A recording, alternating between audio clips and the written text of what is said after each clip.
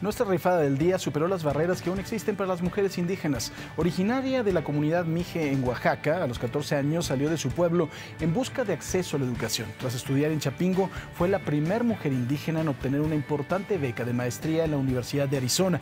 Ganó el Premio Nacional de la Juventud 2016 y hoy estudia el doctorado en Holanda. Tania Eulalia Martínez Cruz es nuestra rifada del día desde aquí, un reconocimiento a su trayectoria.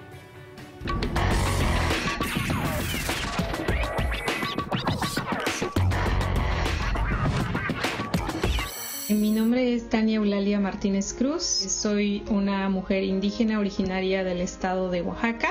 Actualmente vivo en los Países Bajos porque aquí realizo mis estudios doctorales en ciencias sociales y además para mis estudios de maestría en Estados Unidos. En el 2010 me convertí en la primera becaria indígena del programa Fulbright en México. Siempre que me preguntan quién soy, tengo que comenzar diciendo que soy una mujer indígena, mije, porque tenemos que reconocer que vivimos en un México con mucha discriminación, con mucha inequidad social. Acceder a educación para mí fue todo un reto. Te quedas en tu pueblo a hacer vida, te vas en busca de un sueño americano pocos somos los que pudimos acceder a una educación. También había ciertos aspectos de violencia de género en mi familia y eso fue un poco también lo que me empujó a decir quiero hacer un futuro y crear una vida diferente para mí. Para mí es importante que como personas de los pueblos originarios reflexionemos en que nosotros somos tan capaces como muchas otras personas que además tenemos un legado cultural que es único, especial.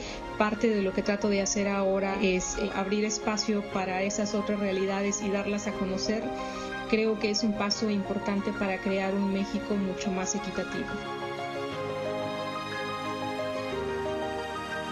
Imagen Noticias con Paco Sea, lunes a viernes 5.50 am. Participa en Imagen Televisión.